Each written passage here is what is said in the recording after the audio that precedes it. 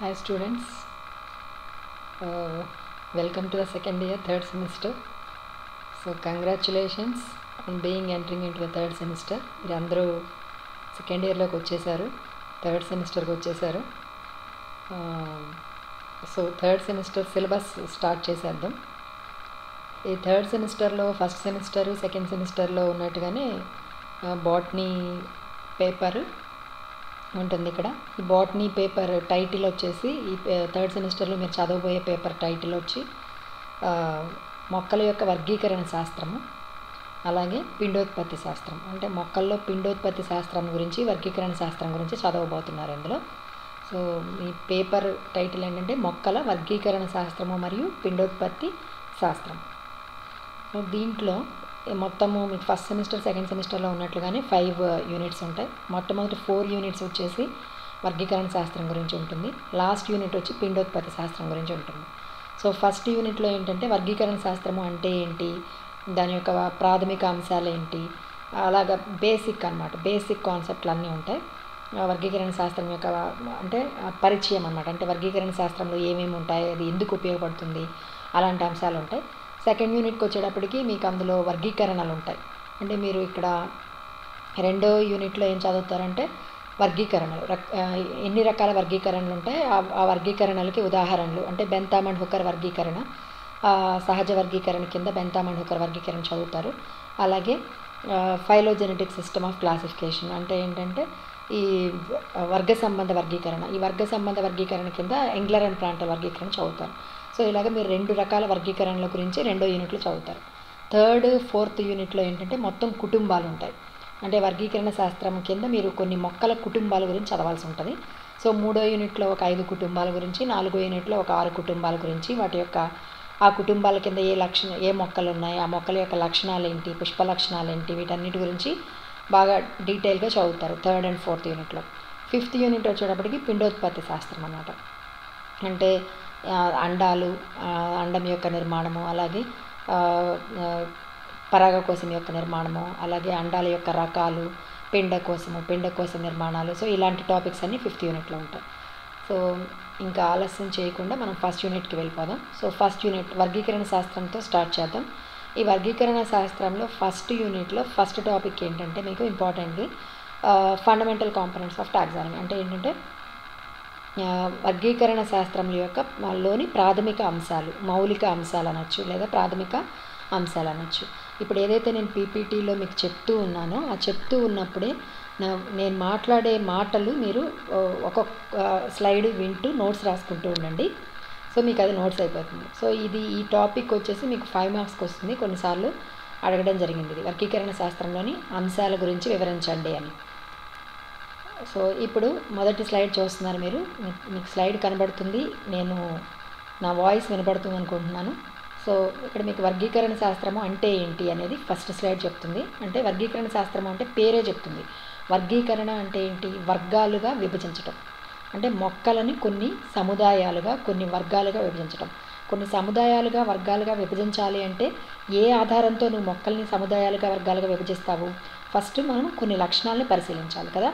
కొన్ని లక్షణాలను పరిశీలించి మొక్కల యొక్క లక్షణాలను పరిశీలించి ఆ లక్షణాలని ఆధారంగా చేసుకుని ఆ మొక్కల్ని కొన్ని వర్గాలుగా కొన్ని సముదాయాలుగా విభజిస్తాం. సో ఆ విభజించేటువంటి శాస్త్రాన్ని వర్గీకరణ శాస్త్రం అంటారు. ఈ వర్గీకరణ శాస్త్రంలో మనము మొక్కల లక్షణాలను పరిశీలిస్తాం అధ్యయనం చేస్తాం. అధ్యయనం చేసిన తర్వాత ఆ లక్షణాలను ఆధారంగా మొక్కల్ని వర్గీకరిస్తాము. వర్గీకరించి వాటిని సముదాయాలుగా విభజించి వాటికి పేర్లు పెట్టడం. ఇదంతా కూడా వర్గీకరణ శాస్త్రం కిందకి వస్తుంది. తర్వాత ఈ వర్గీకరణ శాస్త్రం అనేది మూడు వందల సంవత్సరాల క్రితము మొదలైంది. బిఫోర్ క్రిస్ట్ అంటే ఏంటి? బీసీ మూడు వందల సంవత్సరాల బీసీ అప్పుడు మొదలైంది. సో శాస్త్రవేత్త ఎవరంటే థియోఫ్రాస్టస్ అనే శాస్త్రవేత్త మొట్టమొదటి వర్గీకరణ శాస్త్రాన్ని గురించి అధ్యయనం చేసినటువంటి శాస్త్రవేత్త. సో ఈయన కాలం ఏంటంటే మూడు వందల డెబ్బై నుంచి రెండు వందల ఎనభై ఐదు బీసీ ఈయన నివసించినటువంటి కాలం. తర్వాత కరులస్ లీనియస్. ఇంకొక ఇంపార్టెంట్ సైంటిస్ట్ ఎవరు అంటే వర్గీకరణ శాస్త్రం కింద కరులస్ లీనియస్. ఈయన పదిహేడు వందల ఏడు నుంచి పదిహేడు వందల డెబ్బై ఎనిమిది సంవత్సరం మధ్య జీవించాడు. ఈయన వర్గీకరణ శాస్త్రానికి పితామహుడు అని చెప్పొచ్చు. ఫాదర్ ఆఫ్ టాక్సానమీ వర్గీకరణ శాస్త్రానికే పిత. కరలస్ లీనియస్. ఈ వర్గీకరణ శాస్త్రాన్ని కనుక్కున్నాడు అనమాట తర్వాత ఈ వర్గీకరణ శాస్త్రం యొక్క లక్ష్యాలు ఏంటి వాటి యొక్క అంశాలు ఏంటి అంటే ఇప్పుడే చెప్పినట్టుగా వర్గీకరణ శాస్త్రంలో మొత్తం మూడు అంశాలు ఉంటాయి ఒకటి గుర్తించటం. రెండు నామీకరణ. మూడు వర్గీకరణ. గుర్తింపు నామీకరణ వర్గీకరణ. ఈ మూడు అంశాలు కూడా ప్రాథమిక అంశాలుగా ఉంటాయి వర్గీకరణ శాస్త్రంలో. సో ఇందులో మొట్టమొదట అసలు మనం ఒక మొక్కల్ని గుర్తించాలి మొట్టమొదట. గుర్తించిన తర్వాత గుర్తించిన మొక్కల్ని సముదాయాలుగా విభజించాలి వర్గీకరించాలి ఆ తర్వాత వాటికి పేర్లు పెట్టాలి. ఇలా అంతా జరిగిన తర్వాత అప్పుడు దానివల్ల ఏమవుతుందంటే తర్వాతి తరాలు ఆ మొక్కల గురించి తెలుసుకోవటానికి వీలవుతుంది. సో మొక్కల్ని ఒక్కటే గుర్తించడం ఒక్కటే కాదు కాదు గుర్తించిన తర్వాత ఆ లక్షణాల ఆధారంగా వాటిని వేరు చేసి వర్గాల పరంగా విభజించి ఇదంతా ఎందుకు అంటే బాగా అర్థం చేసుకోవడానికి. సో లక్షణాల ఆధారంగా మొక్కల్ని వేరు చేసి విభజించడం అంటే సపోజ్ ఇప్పుడు మీరు ఒక కాలేజ్లోనే మీ క్లాస్ దగ్గర ఒక పది మొక్కలు అబ్జర్వ్ చేశారు పరిశీలించారు. ఆ పది మొక్కలని పెకిలించి వాటి యొక్క వేరు వ్యవస్థను చూశారు. వేరు వ్యవస్థను చూసినప్పుడు ఒక ఐదు మొక్కలకేమో తల్లి వేరు వ్యవస్థ ఉంది ఒక ఐదు మొక్కలకేమో పీచు వేరు వ్యవస్థ ఉంది. మీరు ఏం చేస్తారు? ఆ లక్షణం ఆధారంగా ఒక ఫస్ట్ తల్లి వేరు వ్యవస్థ ఏ మొక్కల్లో అయితే ఉందో ఆ మొక్కలన్నింటినీ ఒక సముదాయంగా పెడతారు. అలాగే పీచు వేరు వ్యవస్థ ఏ మొక్కల్లో అయితే ఉందో వాటన్నిటిని ఒక సముదాయంగా పెడతారు. అంటే ఒక లక్షణం ఆధారంగా తీసుకుని మీరు మొక్కల్ని విభజించారు కదా? సో అలాగే ఈ ఒక్క లక్షణమే కాదు కొన్ని వందల వేల లక్షణాలను పరిశీలించి ఆ లక్షణాల ఆధారంగా మొక్కలని విభజించడం అన్నమాట. అంటే దీని మొత్తం దేని కిందకు వస్తుంది? వర్గీకరణ శాస్త్రం కిందకి వస్తుంది. తర్వాత ఈ మీరు మనం విభజించిన తర్వాత మొక్కలన్నిటిని కనుక్కొని వాటి యొక్క లక్షణాలను కనుక్కొని వాటిని విభజించిన తర్వాత వాటి యొక్క ఆ నాలెడ్జ్ ఏదైతే ఉందో ఆ విజ్ఞానం ఏదైతే ఉందో తర్వాత తరాలకు అందజేయటానికి దాన్ని ఆ విజ్ఞానాన్ని అంతటిని సేకరించి సమీకరించి పుస్తకాల రూపంలో దాన్ని భద్రపరుస్తారు. ఆ విజ్ఞానాన్ని అంతటిని సేకరించి భద్రపరచడం జరుగుతుంది. తర్వాత తరాలకు అందజేయడానికి వీలుగా. తర్వాత ఈ ఈ వర్గీకరణ శాస్త్రము అనేది ఇంకా దేనికి పనికొస్తుంది? అంటే మొక్కల మధ్య ఉన్న సంబంధాలను అంచనా వేయడానికి పనికొస్తుంది. అంటే వాటి యొక్క లక్షణాల ఆధారంగా వాటి వాటి ఒక మొక్కకి ఇంకొక మధ్యకి ఒక మొక్కకి ఇంకో మొక్కకి మధ్య ఏంటి అసలు సంబంధం? సంబంధం ఏదైనా ఉందా? ఒకే రకమైన లక్షణాలు మొక్కల్లో ఉన్నాయా? అంటే సపోజ్ మీరు మూడు మొక్కలు తీసుకున్నారు అనుకోండి ఒకటి రెండు మూడు. ఆ మూడు మొక్కలు ఒకటి రెండు మూడు. ఒకటో మొక్కకి రెండో మొక్కకి మధ్య యాభై పర్సెంట్ లక్షణాలు కలిసినాయి. ఓకే? ఒకటో మొక్కకి మూడో మొక్కకి మధ్య డెబ్బై ఐదు పర్సెంట్ లక్షణాలు కలిసినాయి. అప్పుడు ఏ రెండు మొక్కలు మీకు దగ్గర సంబంధం కలిగి ఉంటాయి? ఒకటి మరియు మూడు. ఎందుకంటే డెబ్బై ఐదు శాతం లక్షణాలు కలిగి ఉంటాయి కాబట్టి. సో దాని అట్లా ఏంటంటే ఏ మొక్కలు బాగా దగ్గర లక్షణాలు కలిగి ఉంటాయి? ఏ మొక్కలుకి అసలు సంబంధమే ఉండదు. ఏ మొక్కలు కొద్ది సంబంధం కలిగి ఉంటాయి? అదంతా కూడా ఈ ట్యాక్సానమీ ఈ వర్గీకరణ శాస్త్రంలో అధ్యయనం చేయడం జరుగుతుంది. తర్వాత ఈ మొక్కలు ఈ వర్గీకరణ శాస్త్రం ఇంకా ఈ వర్గీకరించడానికే కాకుండా భూమి మీద ఎటువంటి రక ఏ ఏ రకాలైనటువంటి మొక్కలు ఎక్కడెక్కడ ఏ భౌగోళిక పరిస్థితుల్లో పెరుగుతున్నాయి ఎక్కడ ఏ వాతావరణ పరిస్థితుల్లో పెరుగుతున్నాయి ఏ భౌగోళిక పరిస్థితులు పెరుగుతున్నాయి ఈ అధ్యయనం అంతా కూడా బాగా ఉపయోగపడుతుంది. సో వర్గీకరణ శాస్త్రం వల్ల ఇవన్నీ కూడా ఈ సమాచారం అంతా కూడా తెలుస్తుంది. తర్వాత ఇప్పుడే చెప్పినట్టుగా మీకు వర్గీకరణ శాస్త్రంలో మొత్తం మూడు అంశాలు ఉంటాయి ఒకటి గుర్తింపు రెండు నామీకరణ మూడు వర్గీకరణ. సో ఇక్కడ మొదట మొదటగా మీరు చూసినట్లయితే గుర్తిస్తారు. ఒక మొక్కని గుర్తిస్తారు. గుర్తించడము అనేది ఎలా గుర్తిస్తారు? ఒక మొక్కని తీసుకుని దాని యొక్క వేరు వ్యవస్థను పరిశీలిస్తారు. అలాగే కాండం చూస్తారు. దానిలో శాఖలు శాఖీభవనం ఎలా ఉందో చూస్తారు. పత్రం ఎలా ఉందో చూస్తారు. ఆ పత్రంలో పత్ర విన్యాసం ఎలా ఉందో చూస్తారు. పత్రం యొక్క లక్షణాలన్నీ పరిశీలిస్తారు. అలాగే పుష్పం చూస్తారు. పుష్ప విన్యాసం చూస్తారు. ఫలం చూస్తారు పరాగ సంపర్కం చూస్తారు ప్రత్యుత్పత్తి ఎలా జరుగుతుందో చూస్తారు. సో వీటన్నిటి లక్షణాలని పరిశీలించేసి అప్పుడు ఆ మొక్కని ఏం చేస్తారు అంటే వెంటనే ఆ మొక్క లక్షణాలన్నీ ఒక పేపర్ మీద ఒక నోట్ నోట్బుక్లో రాసుకొని ఆల్రెడీ ఇట్లాంటి మొక్క ఇంతకుముందే ఉందా?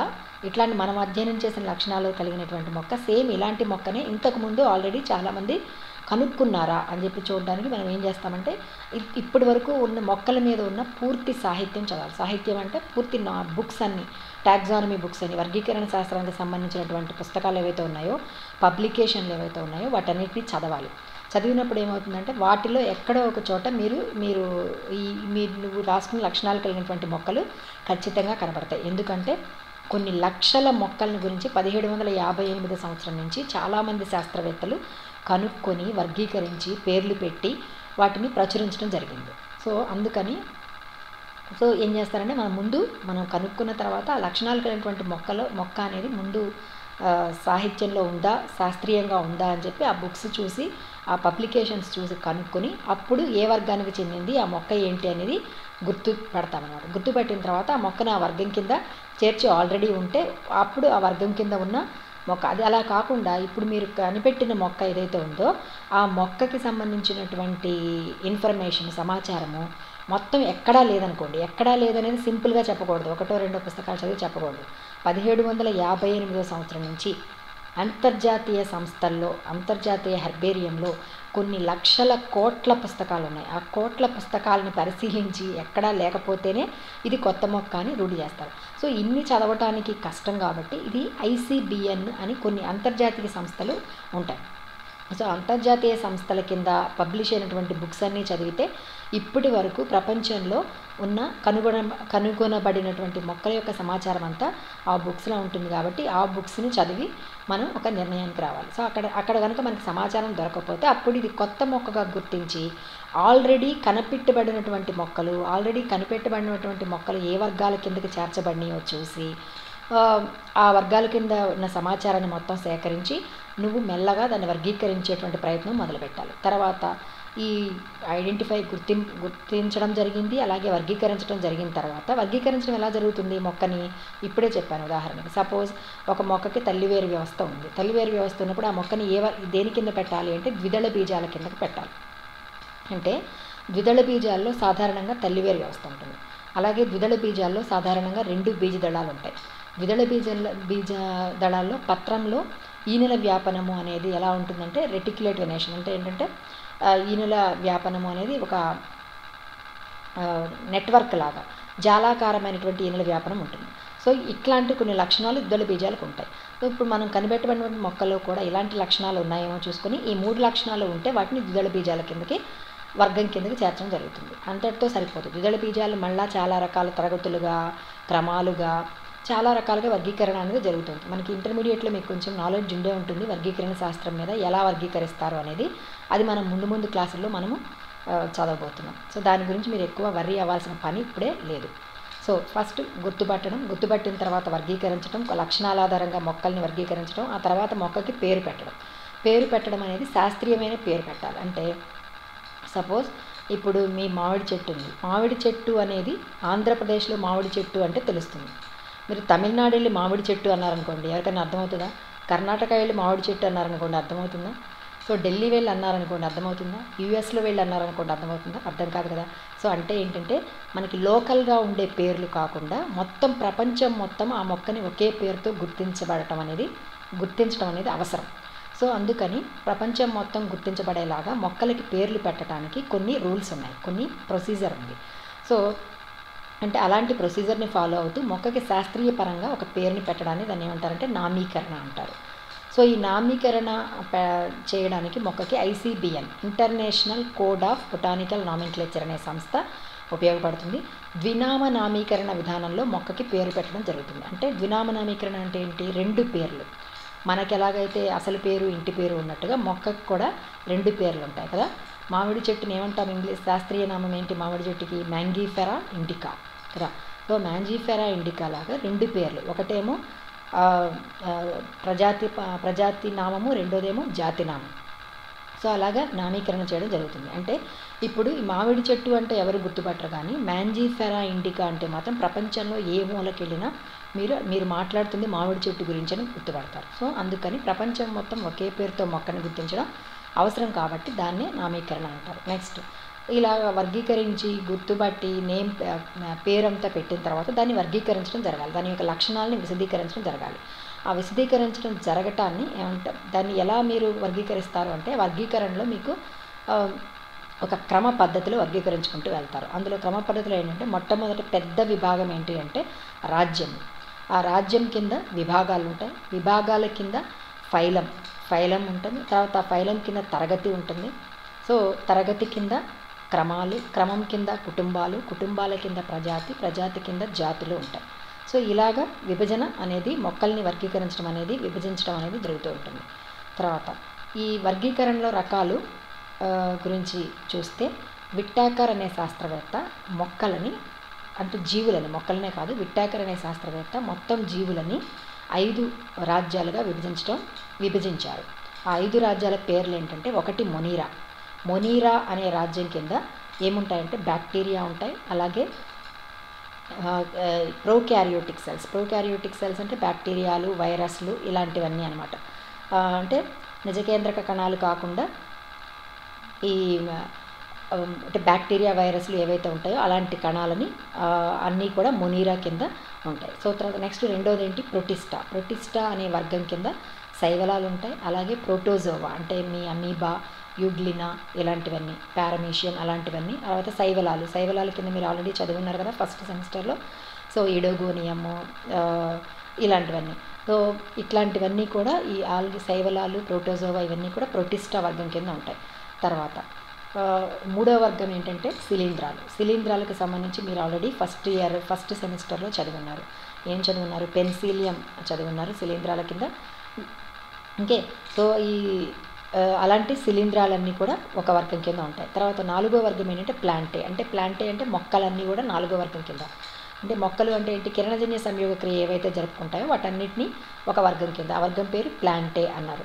తర్వాత ఐదో వర్గం ఏంటంటే యానిమేలియా అంటే జంతువులన్నీ కూడా ఏవైతే తమ ఆహారాన్ని తామే స్వయంగా ఉత్పత్తి చేసుకోలేవో ఆ తమ ఆహారం కోసం ఇతరుల మీద ఆధారపడి జీవిస్తాయో వాటవన్నీ కూడా యానిమల్స్ జంతువులు. ఆ జంతువులన్నింటినీ ఒక వర్గం. అంటే ఇలాగ విట్టాకర్ అనే శాస్త్రవేత్త జీవులన్నింటినీ ఐదు రాజ్యాలుగా విభజించారు. ఒకటి మొనీరా రెండు ప్రొటిస్టా. మొనీరా కింద ఏముంటుంది? ఫస్ట్ దాని కింద బ్యాక్టీరియా ఉంటుంది అలాగే ప్రోక్యారియోటిక్ సెల్స్ ఉంటాయి. ప్రోక్యారియోటిక్ సెల్స్ అంటే? సో బ్యాక్టీరియాలు వైరస్లు ఇట్లాంటివి. అంటే కేంద్రకం నిజమైన కేంద్రకము ఉండదు వాటిలో కేంద్రక త్వచం ఉండదు కేంద్రకాంశం ఉండదు. ఓన్లీ ఒక డిఎన్ఏ మాత్రమే పోగులాగా ఉంటుంది. సో ఇలాంటి కణాలన్నీ కలిగినటువంటి జీవులన్నీ మునిరా కింద ఉంటాయి. ప్రొటిస్టా కింద శైవలాలు అలాగే ప్రోటోజోవా ఉంటాయి. ఏకకణ జీవులన్నీ కూడా ప్రొటిస్టా కింద ఉంటాయి వర్గం కింద. నెక్స్ట్ ఫంగై మూడోది శిలీంధ్రాలన్నీ కూడా మీ పెన్సిలియంలు ఇవన్నీ అక్కడే ఉంటాయి. నాలుగోది మొక్కలు మిగతా మొక్కలను ఏవైతే కిరణజన్య సమయక్రియ జరుపుతాయో అవన్నీ నాలుగో వర్గం ఐదోది అనిమేలియా సో అట్లాగే మీ వర్గీకరణ కనుక చూస్తు చూస్తున్నప్పుడు ట్యాగ్జాన్ అంటే వర్గము. ట్యాగ్జానమీ కదా మీ దాని పేరు వర్గీకరణ శాస్త్రము. ట్యాగ్జాన్ అంటే తెలుగులో వర్గము అంటాము. సో ప్రతిదీ వర్గం అంటారు. అంటే వర్గం అంటే ఏంటంటే వర్గాలన్నింటిలోనూ బాగా పెద్దదైనటువంటి వర్గం ఏంటి అంటే రాజ్యం కింగ్డమ్. సో ఆ వర్గాలన్నింటిలోనూ అతి చిన్నదైన వర్గం ఏంటి అంటే జాతి. అంటే జాతి. జాతి అనేది ఏంటంటే జాతిలో ఉండేటువంటి జీవులన్నీ కూడా తొంభై తొమ్మిది పాయింట్ తొంభై తొంభై తొమ్మిది పాయింట్ తొమ్మిది తొమ్మిది తొమ్మిది తొమ్మిది అని తొమ్మిదిలోనే పెట్టుకోండి. మ్యాక్సిమం అంటే అన్నీ కూడా ఒకే రకమైనటువంటి లక్షణాలు ఉన్నటువంటి జీవులన్నీ కూడా ఒక జాతి కిందకి చేర్చుతారు. ఓకే? సో బాగా బాగా పెద్దదిగా ఉన్న వర్గం ఏంటంటే రాజ్యం. రాజ్యం కింద ఉన్నటువంటి జీవులు అన్నీ కూడా వాటిలో అన్నీ చాలా వేరువేరు లక్షణాలని కలిగి ఉంటాయి. సో అతి చిన్నదైనటువంటి అతి ప్రాముఖ్యమైనటువంటి వర్గం ఏంటి టాక్సానమీలో అంటే జాతి. సో జాతి అనేది ఒక ప్రమాణం అనమాట టాక్సానమీ వర్గీకరణ శాస్త్రానికి జాతి అనేది ఒక ప్రమాణం. ప్రతి ఒక్క వర్గము కూడా లాస్ట్ చివర కొన్ని ఒకే రకంగా ఆ పదాలు పలికేటప్పుడు మీరు ఒకే రకంగా ఎండ్ అవుతాయి. అవేంటో చూద్దాం ఇప్పుడు. డివిజను అంటే విభాగము అలాగే ప్రజాతి అలాగే జాతి ఈ మూడు కూడా వేటికవే విడివిడిగా ఉంటాయి. ఒకే రకంగా ఉండవు. కానీ ఎప్పుడూ కూడా క్లాస్ తరగతి అనేది ఎప్పుడూ కూడా చివర తరగతి చివర దేంతో ఎండ్ అవుతుంది అంటే ఆప్సిడా బ్రయాప్సిడా అలాగా ఆప్సిడాతో ఎండ్ అవుతుంది. తర్వాత ఏ ఏ అనేది ఈ ఏ ఈ ఏ అనే పదంతో కానీ ఆప్సిడా అనే పదంతో కానీ తరగతి ఎప్పుడు ఎండ్ అవుతుంది. తర్వాత క్రమము క్రమము చివర ఏ ప క్రమము చివర ఏ అక్షరాలు ఉంటాయంటే ఏ లిస్ అనే అక్షరాలు ఉంటాయి. లేదు అంటే మళ్ళీ ఏ అనేది ఎండ్ అవుతుంది. కుటుంబం ఎప్పుడు కూడా ఏ కుటుంబం అయినా కానీ కుటుంబం యొక్క పేరు ఎప్పుడు కూడా ఏసీతో ఎండ్ అవుతుంది. ఏసీ అనే దాంతో ముగుస్తుంది. ఏసీ అనే అక్షరాలతో ముగుస్తుంది. అలాగే మళ్ళీ ఏ అనే అక్షరాలతో కూడా ముగుస్తుంది. కొన్ని కుటుంబాలు ఏ అనే అక్షరాలతో ముగుస్తాయి కొన్ని చాలా వరకు కుటుంబాలన్నీ ఏసీ అనే అక్షరాలతో ముగుస్తాయి. తర్వాత ఉప కుటుంబాలు ఉప కుటుంబాలు కూడా ఎప్పుడు ఆయిడే ఆయిడే అనే అక్షరాలతో ముగుస్తాయి. సో ఇలాగా కొన్ని ప్రత్యేకమైనటువంటి అక్షరాలతో వర్గాలు పేర్లు ఉంటాయి. సో ఇందులో మీకు ఇంతకుముందే చెప్పినట్టుగా వర్గీకరణ శాస్త్రంలో అతి ముఖ్యమైన ప్రమాణం ఏంటి అంటే జాతి. ఇది అతి ముఖ్యమైన ప్రమాణము అతి చిన్నదైన ప్రమాణం కూడా. ఎందుకంటే ఈ జాతిలో అన్నీ ఒకే రకమైనటువంటి లక్షణాలు కలిగినటువంటి జీవులన్నీ ఉంటాయి. ఓకే? ఇందులో ఈ జాతిలో ఉన్నటువంటి జీవులన్నీ కూడా తమలో తాము ప్రత్యుత్పత్తి జరుపుకుంటాయి కానీ వేరే జాతితో ప్రత్యుత్పత్తి జరుపుకోలేదు. సో మ్యాంగీఫెరా ఇండికా ఉందనుకోండి. మ్యాంగీఫెరా అనేది ప్రజాతి ఇండికా అనేది జాతి. సో ఇండికా రకానికి చెందినటువంటి ఇండికా జాతికి చెందినటువంటి మొక్కలన్నీ కూడా ప్రత్యుత్పత్తి జరుపుకుంటాయి. ఓకే? వాటిలో అవి ప్రత్యుత్పత్తి జరుపుకుంటాయి. కానీ ఇండికా రకానికి చెందింది జపానికా రకానికి చెందిన దాంతో ప్రత్యుత్పత్తి జరుపుకోలేదు. అంటే ఇక్కడ మనకు అర్థమవుతుంది ఏంటి? ఒకే జాతికి చెందినటువంటి జీవులు తమలో తాము ప్రత్యుత్పత్తిని జరుపుకుంటాయి. కానీ ఒక జాతికి చెందినటువంటి జీవులు ఇంకొక జాతికి చెందిన జీవులతో ప్రత్యుత్పత్తి జరపవన్నమాట. సో ఎప్పుడైతే ప్రత్యుత్పత్తి జరిపేటువంటి అతి చిన్నదైనటువంటి వర్గాన్ని జాతి అంటాం. సో నెక్స్ట్ వర్గీకరణలో రకాలు. మొత్తం వర్గీకరణలో రకాలు ఎన్ని ఉంటాయంటే ముఖ్యంగా మూడు రకాల వర్గీకరణ ఉంటాయి. సహజ వర్గీకరణలో సహజ వర్గీకరణ అంటే ఏంటంటే మొక్కల్లో అత్యధికమైనటువంటి లక్షణాలను పరిశీలించి అత్యధికమైనటువంటి లక్షణాలను గమనించి వర్గీకరణ చేస్తే దాన్ని సహజ వర్గీకరణ అంటారు. సో ఈ సహజ వర్గీకరణ చేసిన సైంటిస్టులు ఎక్కువగా ముఖ్యంగా బెంథామ్ అండ్ హుకర్ సహజ వర్గీకరణ ఇది మీరు చదవబోతున్నారు రెండో యూనిట్లో. అలాగే యాడమ్సన్ అనే సైంటిస్టు ఫ్రాన్స్ అనే scientist de Candolle Swiss Britain వీళ్ళందరూ కూడా సైంటిస్టులు ఈ సైంటిస్టులు అందరూ కూడా సహ మొక్కల్ని సహజంగా వర్గీకరించడం వర్గీకరించడం చేశారు. ఎప్పుడు? పదిహేడు వందల అరవై నుంచి పద్దెనిమిది వందల ఎనభై కాలంలో ఈ వర్గీకరణలు అనేవి జరిగినాయి. తర్వాత కృత్రిమ వర్గీకరణ. కృత్రిమ వర్గీకరణ అంటే ఏంటంటే మొక్కల యొక్క ఎక్కడైతే పెరుగుతాయో పెరిగేటువంటి ప్రదేశాలు వాతావరణ పరిస్థితుల ఆధారంగా ఓ వర్గీకరిస్తే మొక్కల్ని దాన్ని కృత్రిమ వర్గీకరణ అంటాం.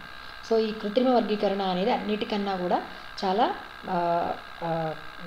పురాతనమైనటువంటి వర్గీకరణ. సో ఇది మూడు వందల బీసీ నుంచి పదిహేను వందల ఏడి మధ్య కాలంలో ఈ కృత్రిమ వర్గీకరణ అనేది జరగడం జరిగింది. ఈ కృత్రిమ వర్గీకరణ ప్రకారంగా చూస్తే ఇందులో ముఖ్యమైన సైంటిస్టులు ఎవరంటే థియోఫ్రాస్టస్ అనే సైంటిస్ట్ అలాగే డయోస్కోరిడిస్ అనే సైంటిస్ట్. వీళ్ళిద్దరూ గ్రీస్ దేశానికి సంబంధించినటువంటి శాస్త్రవేత్తలు.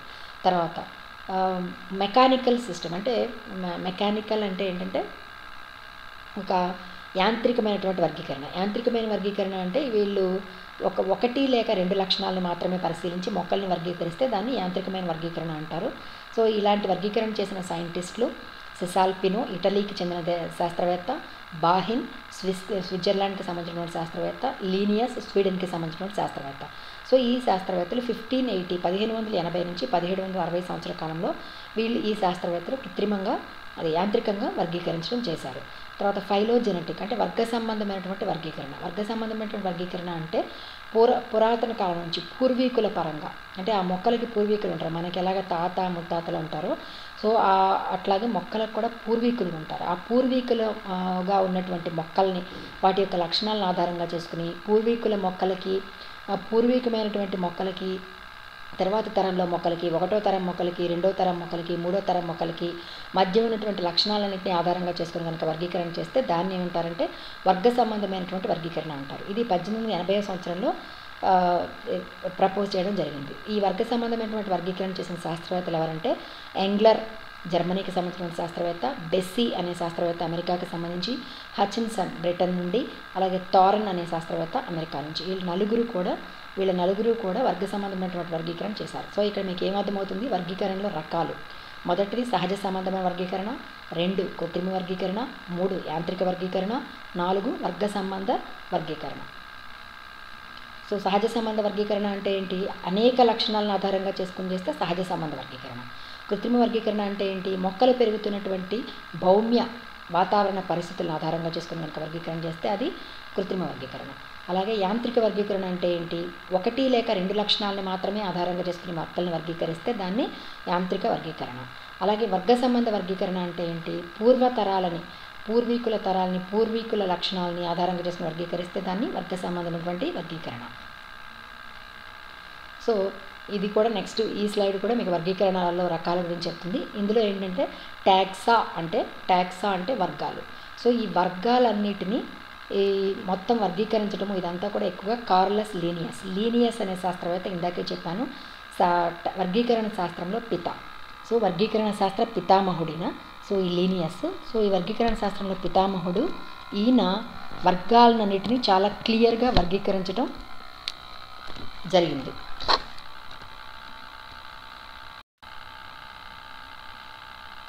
Okay guys. సో వర్గాలన్నిటిని లీనియస్ అనే శాస్త్రవేత్త ఎవరైతే వర్గీకరణ శాస్త్ర పితామహుడు ఉన్నాడో ఈయన బైనామియల్ నామెంట్లేచర్ ద్వినామ నామీకరణ అనే విధానంలో మొక్కలన్నిటిని వర్గీకరించాడు. మొక్కలన్నిటిని వర్గీకరించడంలో వర్గాలు ఏవైతే ఉన్నాయో అంటే ఏ వర్గాలు? రాజ్యము విభాగము తరగతి క్రమము కుటుంబము ప్రజాతి జాతి ఇలాంటి వర్గాలన్నింటినీ కూడా ద్వినామ నామీకరణ విధానాన్ని అనుసరించి ఈ లీనియస్ అనే వర్గీకరించడం జరిగింది.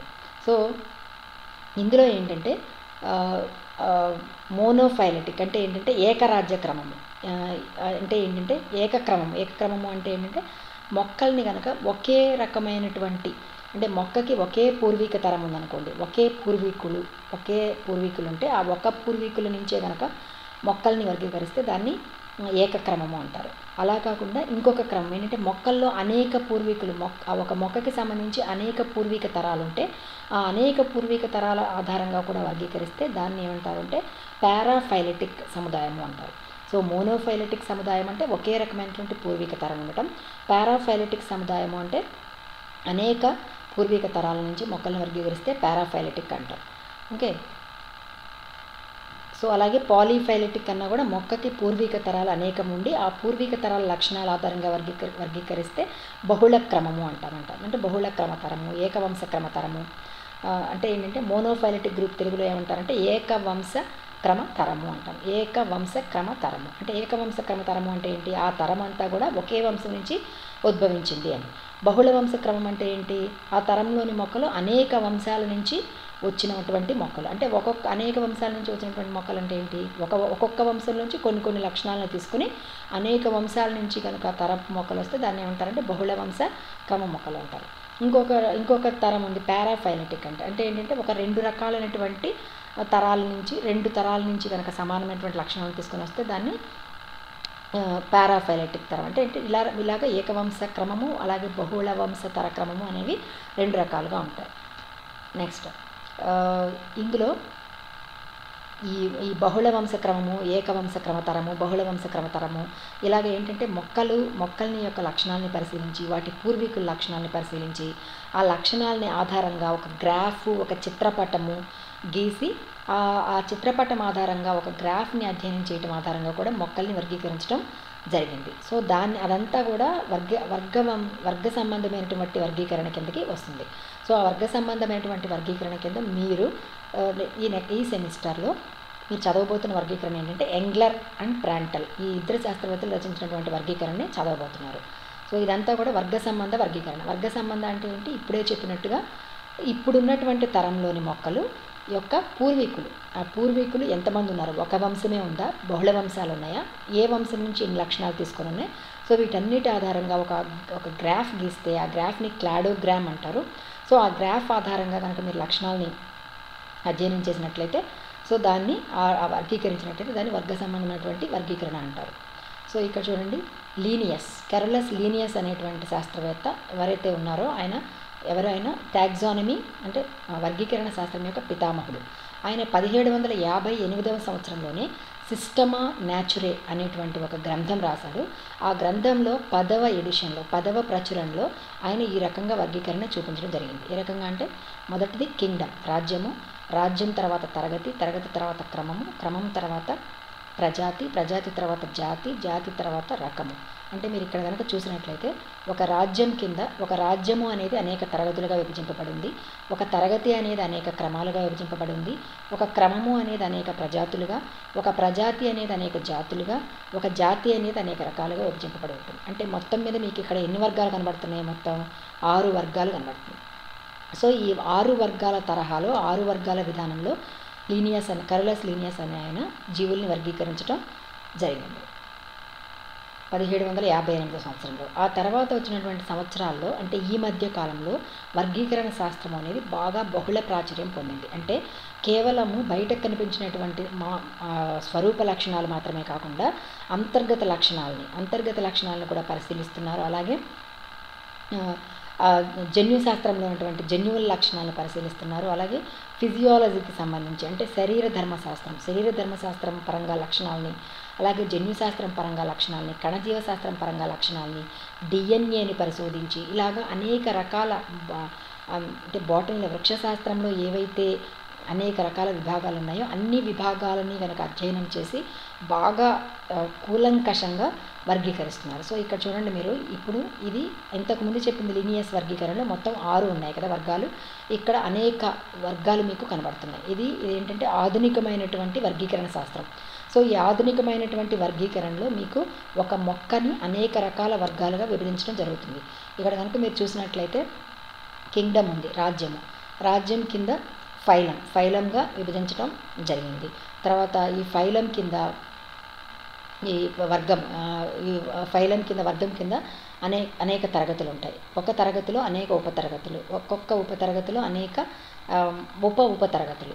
మళ్ళీ వాటిలో అనేక ఉప ఉప తరగతులు మళ్ళీ కూడా క్రమాలుగా విభజించడం. అది ఒక క్రమం కింద అనేక ఉపక్రమాలు ఉంటాయి మళ్ళీ ఒక్కొక్క ఉపక్రమంలో అనేక సూపర్ కుటుంబాలు ఉంటాయి తర్వాత ఒక్కొక్క సూపర్ కుటుంబంలోనూ అనేక కుటుంబాలు ఉంటాయి ఒక్కొక్క కుటుంబంలోనూ అనేక ఉప కుటుంబాలు ఉంటాయి ఒక్కొక్క ఉప కుటుంబంలోనూ అనేక తెగలు ఉంటాయి ఒక్కొక్క తెగలోనూ అనేక ప్రజాతి ఉంటాయి ఒక్కొక్క ప్రజాతిలోనూ అనేక జాతులు ఉంటాయి ఒక్కొక్క జాతిలోనూ అనేక ఉపజాతులు ఉంటాయి ఒక్కొక్క ఉపజాతిలోనూ అనేక రకాలు ఉంటాయి సో ఇలాగా మీరు ఏంటంటే మోడర్న్ క్లాసిఫికేషన్ అంటాం. అంటే ఈ మధ్య కాలంలో వర్గీకరణ చేయడం ఇలాగ జరుగుతుంది. అంటే మీకు ఇక్కడ చాలా రకాలైనటువంటి వర్గాలు మీకు కనబడుతుంది అంటే పూర్వకాలంలో జరిగినటువంటి వర్గీకరణకి పదిహేడు వందల యాభై ఎనిమిది సంవత్సరంలో ఇప్పుడు జరుగుతున్నటువంటి వర్గీకరణకి చాలా తేడా ఉంది. అంటే పూర్వకాలంలో జరిగినటువంటి వర్గీకరణ ఏంటంటే కేవలం స్వరూప లక్షణాల ఆధారంగా భౌతిక పరిస్థితుల ఆధారంగా మొక్క పెరిగేటువంటి వాతావరణ పరిస్థితుల ఆధారంగా వర్గీకరించడం చేస్తే ఇప్పుడు జరుగుతున్నటువంటి వర్గీకరణ మాత్రం జన్యుశాస్త్రం ఆధారంగా శరీర ధర్మశాస్త్రం ఆధారంగా కణజీవ శాస్త్రం ఆధారంగా అనేక రకాలైనటువంటి అధ్యయనాలు చేసి వర్గీకరించడం జరుగుతుంది. సో ఇక్కడ కామన్గా అంటే సాధారణంగా ఒక వర్గీకరణలో ఏం కనబడతాయి మనకి అంటే రాజ్యము రాజ్యం కింద వర్గము సో వర్గం కింద తరగతి తరగతి కింద క్రమము క్రమము కింద కుటుంబము కుటుంబము కింద ప్రజాతి ప్రజాతి కింద జాతి.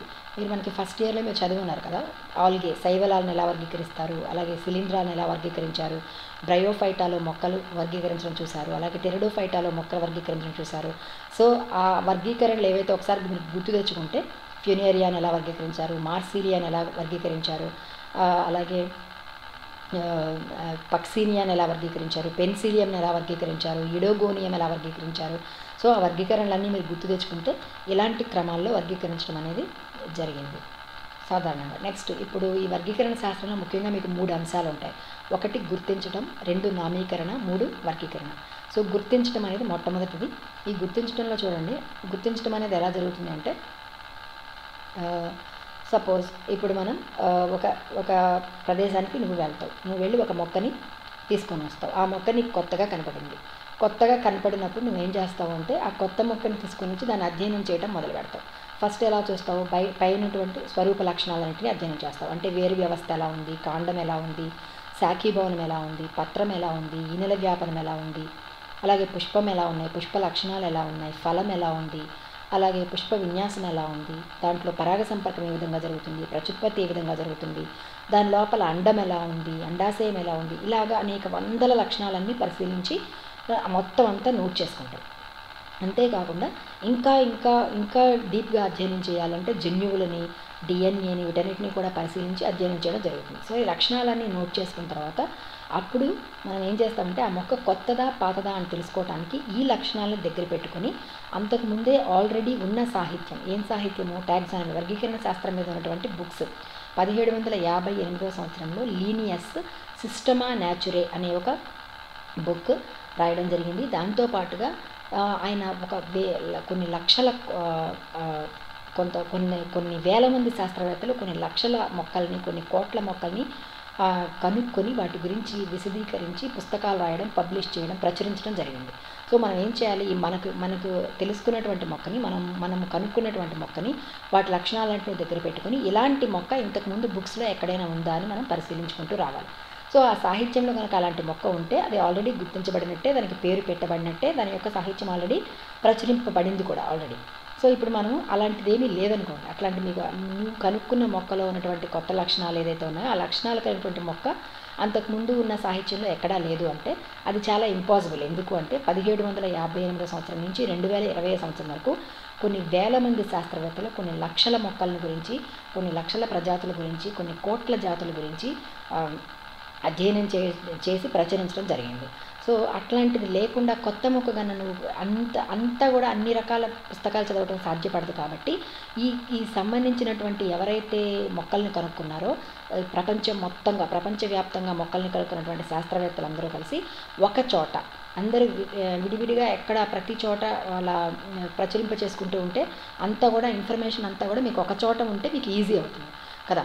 సో అలా కాకుండా మీరు ప పదివేల మంది శాస్త్రవేత్తలన్నీ ఒక పదివేల పదివేల చోట్ల కనుక ప్రచురణలు ఉన్నాయనుకోండి మనకి ఆ ప్రచురించ ప్రచురణలు చదవటం కష్టమైపోతుంది. అసలు ఆ మొక్కని గురించి తెలుసుకోవడం కూడా కష్టమైపోతుంది. కాబట్టి ఐసీబీఎన్ అనేది అంటే international code of botanical nomenclature అనే సంస్థ ఈ మొక్కలకు సంబంధించినటువంటి శాస్త్రీయ అధ్యయనాలన్నింటినీ ఒకే చోట క్రోడీకరించి అక్కడ సేకరించడం జరిగి ఒకే చోట పెట్టడం జరిగింది. సో మీరు ఏం మనం ఏం చేయాలి అంటే మొక్కల గురించి సమాచారం సేక సేకరించాలి అంటే ఆ ప్ర ఆ పర్టికులర్గా ఆ ప్రత్యేక సంస్థ కింద ఉన్న వెబ్సైట్ ఓపెన్ చేసి దాంట్లో ఉన్న సమా- సమాచారాన్ని చూడాలి. సో ఎంత సమాచారం ఉంటుంది? ఫర్ ఎగ్జాంపుల్ అంటే మీరు ఒక సపోజ్ మీరు ఒక మొక్క పేరు గూగుల్లో కొట్టారనుకోండి మ్యాంగీఫెరా ఇండికా అని టైప్ చేశారు. టైప్ చేయగానే మీరు మీ ఆ మ్యాంగీఫెరా ఇండికాకి సంబంధించినటువంటి ప్రచురణలు పబ్లికేషన్స్ ఏమైతే ఉన్నాయో అవన్నీ కొన్ని వందల పేజీలు వేల పేజీలు గూగుల్లో మీకు ఓపెన్ అవుతాయి. అంటే ఏంటంటే అక్కడ ఆల్రెడీ కొన్ని వందల వేల పేజీల యొక్క సమాచారం ఆ మొక్క గురించి నిక్షిప్తమై ఉంది. కదా? సో అంటే ఇట్లాగే ప్రతి ఒక్క మొక్క గురించి పూర్తిగా సమగ్రమైన సమాచారం అంతా మీకు లభ్యమవుతూ ఉంటుంది. గూగుల్లో కొడితే. అలాగే కొన్ని వెబ్సైట్లు చూసినా అలాగే మొక్కలకు సంబంధించినటువంటి ICBN international code of botanical nomenclature కొన్ని జాతీయ హెర్బేరియంలు కొన్ని జాతీయ మొక్కలకు సంబంధించినటువంటి గ్రంథాలయాల్లో కొన్ని వందల బుక్స్ ఉంటాయి. ఆ బుక్స్ అన్నింటిలో కూడా ఆ మొక్కలకు సంబంధించినటువంటి సమాచారం నిక్షిప్తమై ఉంటుంది. దాన్ని లిటరేచర్ అంటాం. అంటే ఇప్పుడు మనం నేను చెప్పదలుచుకుంది ఏంటి అంటే మనం ఒక మొక్కని గుర్తించంగానే అది మనం కొత్త మొక్క అనుకోకూడదు. కదా? సో ఆ మొక్కకి సంబంధించి ఆల్రెడీ ఆ మొక్కలో ఆ ప్రజాతిలో ఆ జాతికి సంబంధించిన సమాచారం అంతా కూడా ఆల్రెడీ నిక్షిప్తమై ఉంది. అది నిక్షిప్తమై ఉందా లేదా అని కనుక్కోవటానికి మీరు అన్ని చాలా వందల వేల చోట్లకి వెళ్ళి మీరు వెతకక్కర్లేదు. ఈ సమాచారం అంతా ఒకే చోట నిక్షిప్తమై ఉంటుంది. సో ఆ ఒక ఆ ఒక్క ప్లేస్లో మొత్తం ప్రపంచంలో ఉన్నటువంటి మొక్కలకు సంబంధించిన సమాచారం అంతా కూడా ఉంటుంది. అక్కడ మీరు పరిశీలించుకొని అక్కడ ఉంటే ఆల్రెడీ ఆ మొక్క గుర్తించబడినట్టు లేకపోతే ఇది కొత్త మొక్క అయినట్టు. సో ఇప్పుడు ఆ మొక్కని గుర్తించడం జరిగిన తర్వాత దానికి దానికి పేరు పెట్టడం. సో ఒకవేళ మీరు గుర్తించడం కష్టము అయిపోతే కొంతమంది స్పెషలిస్టులు టాక్సాలజీ వర్గీకరణ శాస్త్రానికి సంబంధించినటువంటి శాస్త్రవేత్తల సహాయం తీసుకోవడం అలాగే నెట్ నెట్ నాలెడ్జ్ ఇంటర్నెట్ ఉంది కదా మన చేతిలో సో ఇంటర్నెట్ నాలెడ్జ్ ఇంటర్నెట్లో మీకు ఇప్పుడే చెప్పాను నేను. ఒక మొక్క పేరు కొడితే కొన్ని వందల వేల పేజీలు ఓపెన్ అవుతాయి.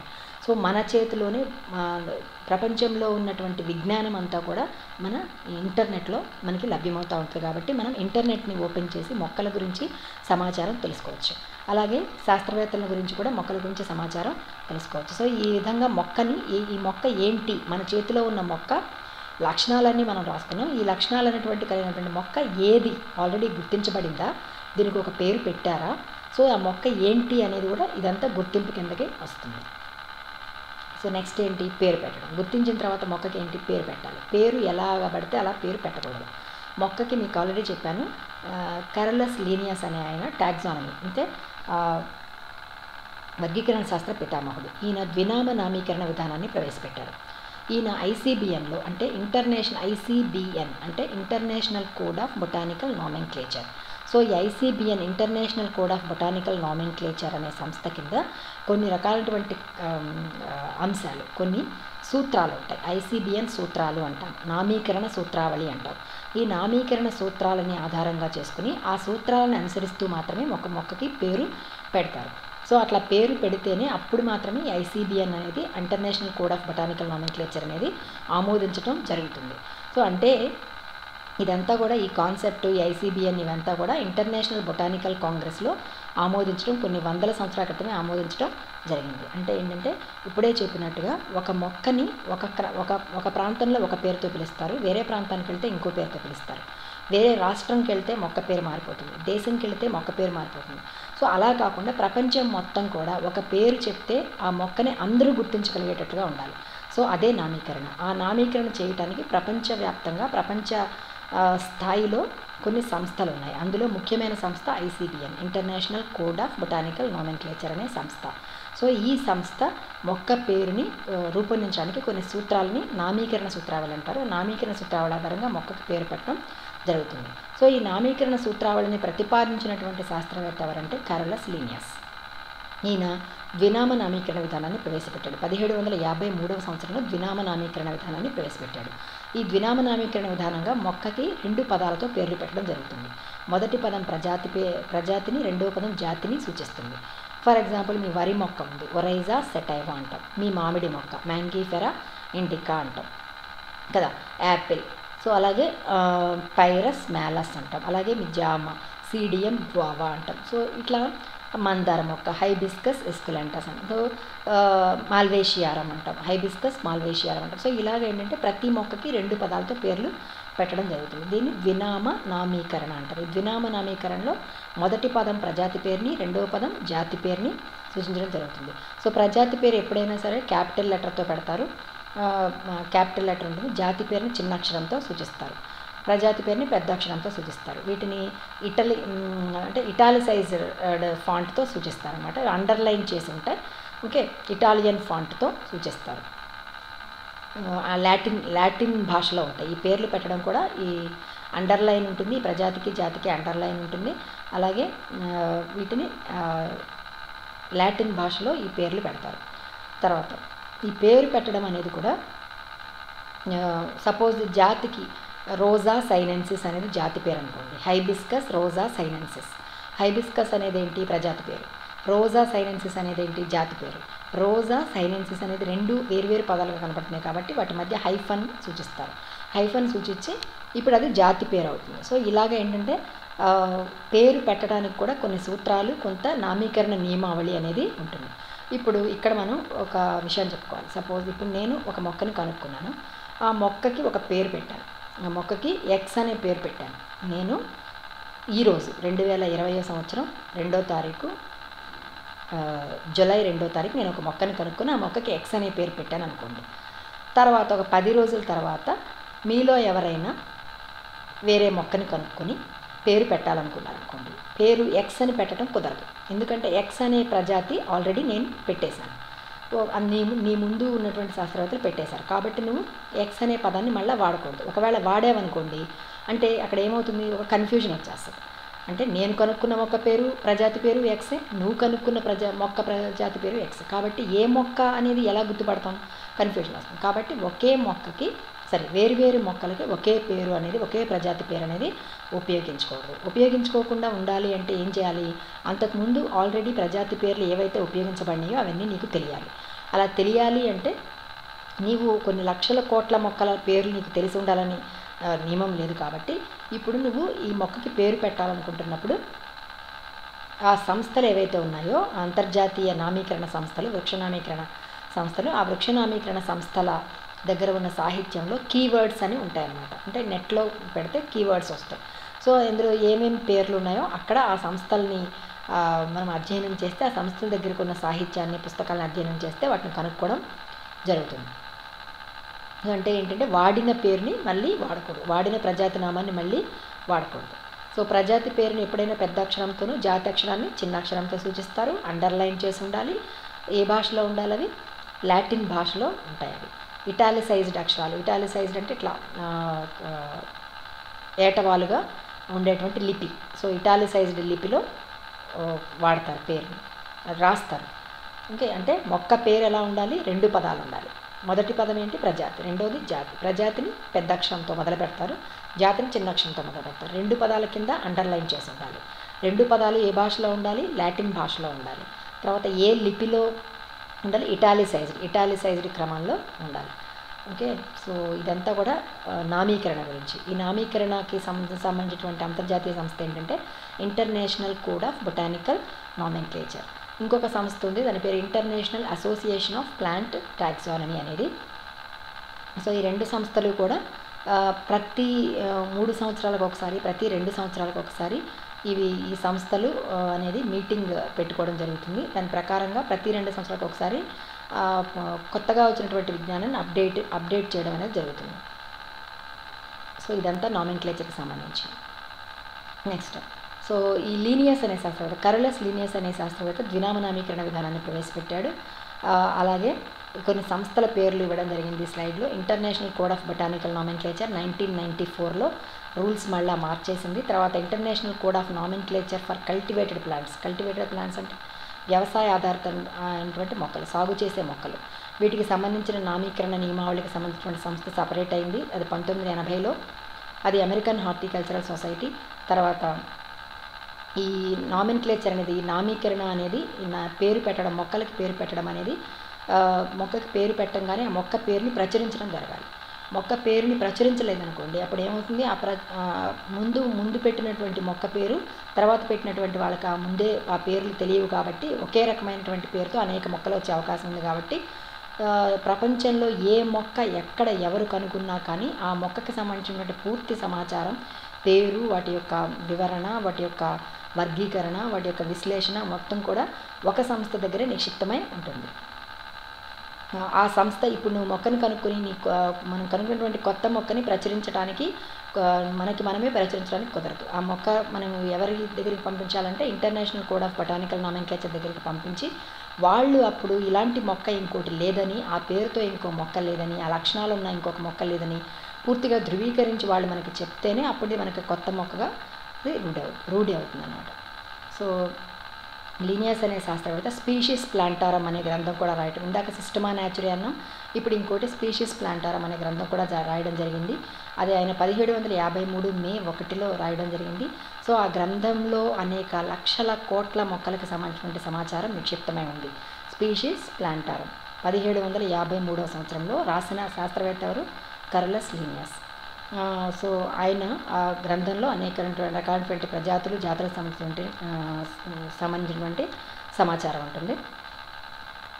So next types. మొక్కల్లో అంటే ఏంటంటే రకాలు. మొక్కల్లో వర్గీకరణ చేసేటప్పుడు రకాలు ఏంటి? నామిన్క్లేచర్ నామీకరణ పెట్టేటప్పుడు నామీకరణ జరిగేటప్పుడు వర్గీకరణ జరిగేటప్పుడు. సో మొక్కల్లో రకాలు. ఇవి మొక్కలకు సంబంధించినటువంటి గ్రంథం అనేది అంటే ఒక డిక్షనరీ ఎట్లాగైతే ఉందో మన డిక్షనరీ చూసామనుకోండి అందులో ఏంటి? కొన్ని వేల ఇంగ్లీష్ పదాలన్నీ ఒక బుక్లో ఉంటాయి. అలాగే మొక్కలకు సంబంధించినటువంటి అనేక వేల లక్షల మొక్కలకు సంబంధించినటువంటి సమాచారం అంతా కూడా ఒక బుక్లో ఉంటే ఆ బుక్ని ఏమంటాము అంటే ప్రోటోలాగ్ అంటాం. ప్రోటోలాగ్ అంటాం. సో ఆ ప్రోటోలాగ్లో అనేక వేల మొక్కలకు సంబంధించినటువంటి సమాచారం నిక్షిప్తమై ఉంటుంది. దీని ప్రకారం ఏంటంటే మొక్కల్లో రకాలు టైప్లు అంటాం. టైప్ రకాలు. అందులో ఏంటంటే ఇది మీకు సిలబస్లో లేదు అయినా సరే ఓకే. మీకు ఒక నాలెడ్జ్ కోసం మీకు తెలియజేయడం కోసం చెప్తున్నాను ఈ టైప్లు అనేవి. హోలో టైప్ అంటే ఏంటంటే సపోజ్ ఇప్పుడు నేను ఒక మొక్కని సా- సేకరించి వచ్చాను ఈరోజు. ఈరోజు మొక్కని ఒక ఒక చోటకి వెళ్ళి ఒక ప్రదేశానికి వెళ్ళి ఒక మొక్కని సేకరించుకొని వచ్చాను. సో నేనే ఓనర్ని అంటే మొక్కని తెచ్చింది నేనే కదా సో ఓనర్ని నేనే. నా చేతిలో ఉన్న మొక్క ఒరిజినల్ మొక్క ఎందుకంటే అది ఒరిజినల్గానే ఇప్పుడే నేను తీసుకొచ్చిన మొక్క ఒరిజినల్ మొక్క. సో ఆ ఒరిజినల్ మొక్కకి నేను పేరు పెట్టాను అనుకోండి. సో పేరు పెట్టాను. అప్పుడు నా చేతిలో ఉన్న మొక్క ఏమవుతుందంటే హోలో టైప్ అవుతుంది. అంటే ఏంటి? ఒక అందులో అందులో ఎవరు మొక్కని సేకరించినటువంటి వ్యక్తిని నేనే ఒరిజినల్గా మెటీరియల్ ఏదైతే మొక్క ఉందో అది ఒరిజినల్. సో ఇట్లా రెండింటికి సంబంధించింది ఒరిజినల్ కాబట్టి దాన్ని ఏమంటారంటే హోలో టైప్ అంటాం. తర్వాత రెండో రకం ఏంటంటే లెక్టో టైప్ లెక్టో టైప్ అంటే ఏంటంటే సపోజ్ నేను ఒక మొక్కని తీసుకొచ్చాను. తీసుకొచ్చిన తర్వాత ఆ మొక్క పోయింది నశించిపోయింది లేదు. నేను నామెన్క్లేచర్ ఇచ్చేటప్పుడు టైంకి అంటే ఒక వర్గీకరణ చేసి నేను దానికి మొక్క పేరు పెట్టి దాన్ని ప్రచురించే టైంకి నా చేతిలో ఉన్న ఒరిజినల్ మొక్క పోయింది. పోయినప్పుడు అప్పుడు ఏమవుతుందంటే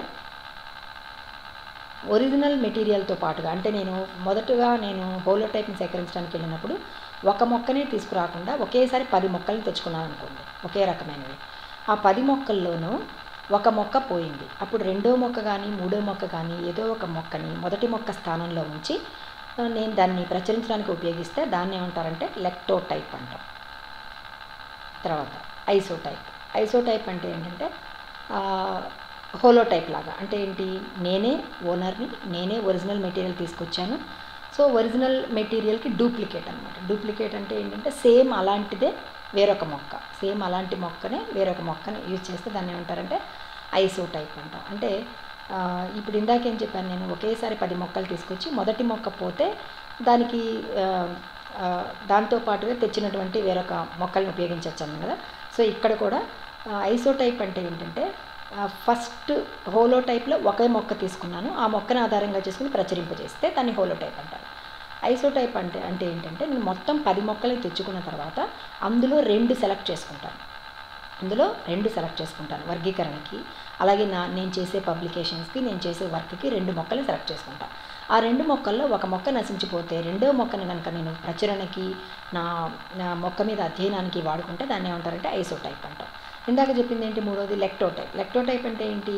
పది తీసుకొచ్చి పదిలో ఒకటే నేను వర్గీకరణకు ఉపయోగించుకొని ఆ ఒకటి పోతే మిగతా తొమ్మిదిలోంచి ఏదో ఒకటి తీసుకుని దాన్ని నేను నా పనులకు ఉపయోగించుకుంటే దాన్ని లెక్టోటైప్ అంటాం. Next syntype syntype అంటే ఏంటంటే మొత్తం పది తీసుకొచ్చాను.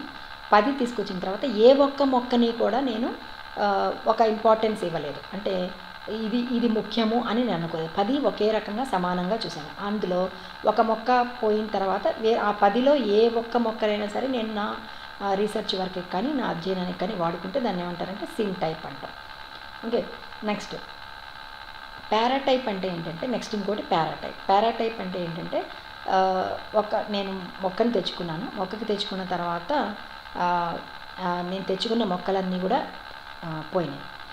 నేను తెచ్చుకున్న మొక్కలన్నిటి కూడా పోయినప్పుడు అది ముందు అప్పుడు నేను మళ్ళీ ఏం చేస్తానంటే వేరొక చోటకి వెళ్ళి మళ్ళీ అలాంటి మొక్కని ఇంకొక మొక్కని తీసుకొచ్చుకొని దాన్ని నేను అధ్యయనానికి ఉపయోగించుకుంటే దాన్ని పారాటైప్ అంటాం. నెక్స్ట్ నియోటైప్ అంటే ఏంటంటే నియోటైప్ అంటే ఏంటి? నేనే వెళ్ళాను. పారాటైప్ అంటే ఏంటంటే పారాటైప్ మొక్కకి ఏంటంటే నేను కొన్ని మొక్కలు తెచ్చుకున్నాను. తెచ్చుకున్న తర్వాత అందులో నుంచి పది మొక్కలు ఉన్నాయి. ఆ పది మొక్కలు పోయినాయి.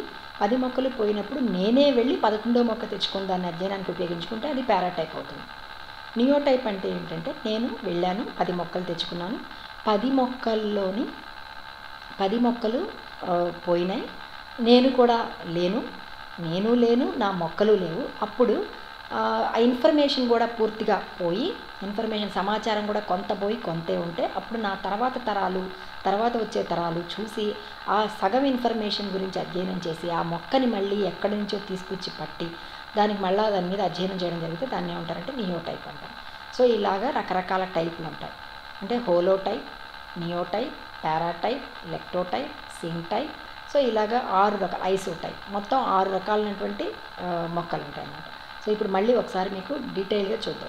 ఒకసారి ఫస్ట్ నుంచి. ఒకటేంటి? హోలోటైప్. హోలోటైప్ అంటే ఏంటి? నేను ఒక మొక్కని సేకరించడానికి వెళ్ళి ఒక మొక్కని సేకరించడానికి వెళ్ళి ఆ మొక్కని తీసుకొని వచ్చి ఆ మొక్క సహాయంతో నేను దానికి ఒక పేరు పెట్టడం వర్క్ చేయడం జరిగితే దాన్ని హోలోటైప్ అంటాం. నెక్స్ట్ ఐసోటైప్ అంటే ఏంటి? నేను ఒక మొక్కను కాకుండా పది మొక్కల్ని తీసుకొచ్చాను. ఆ పది మొక్కల్లోనూ రెండు మొక్కల్ని ప్రధానంగా నా అధ్యయనానికి తీసుకున్నాను. ఆ రెండు మొక్కల్లోనూ ఒక మొక్క పోయింది. అప్పుడు పోయినప్పుడు ఆ రెండో మొక్కని మొదటి మొక్క ప్లేస్లో ఉంచిన అధ్యయనం సాగించి దానికి నామీకరణ దాని మీద శాస్త్ర దాన్ని విధంగా పరిశోధన చేస్తే దాన్ని ఐసోటైప్ అంటాం. నెక్స్ట్ మూడోది ఏంటి లెక్టోటైప్. లెక్టోటైప్ అంటే ఏంటి? నాకు నేను పది మొక్కలు తెచ్చుకున్నాను. ఆ పది మొక్కల్లోనూ కొన్ని మొక్కలు అంటే ఆ- పది మొక్కల్లోనూ మొదటి మొక్క అనేది పూర్తిగా పోయింది. పోయినప్పుడు దాన్ని ఆ మొదటి మొక్క నుంచి ఏం చేస్తారు అంటే ఆ- మొదటి మొక్క అనేది పూర్తిగా పోయినప్పుడు మిగతా ఇది తొమ్మిది మొక్కలు ఏవైతే ఉన్నాయో ఆ తొమ్మిది మొక్కల్లో నుంచి కనుక నేను ఒక మొక్కను తీసుకొని వస్తే దాన్ని లెక్టోటైప్ అంటాం. సిమ్ టైప్ అనేది ఏంటంటే సేమ్ లెక్టోటైప్ లానే ఉంటుంది. ఇక్కడ కూడా ఇక్కడ ఏం చేస్తామంటే ఒక కొన్ని పది మొక్కల్ని తీసుకొస్తాను. పది మొక్కల్ని తీసుకొని వచ్చి హోలో టైప్గా ఒక ప్రధానమైనటువంటి మొక్కగా ఏది పెట్టుకొని నేను.